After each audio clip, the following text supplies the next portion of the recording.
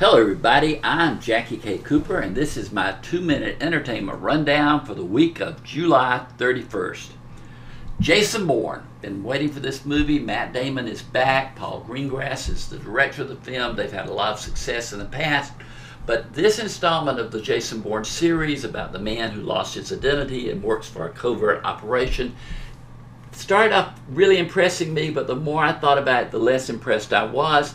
The acting is good. The action sequences are at night and they're blurry and really drive you nuts. But the film is rated R because there's profanity and there is violence. I scored it 5 out of 10. Horror film for the week is Lights Out about demons who can come out at you in the dark, but when the lights go on, they fade away.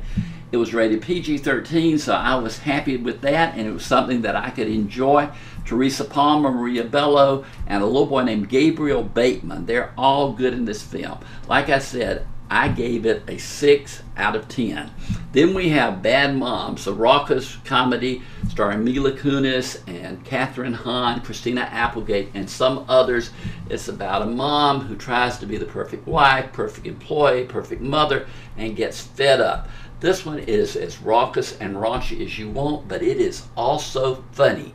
And the secret weapon is Kathryn Hahn. Keep an eye for her. She plays a woman named Carla, and she is funny in everything she does. I can put up with the raunch as long as it's actually funny, and this movie is.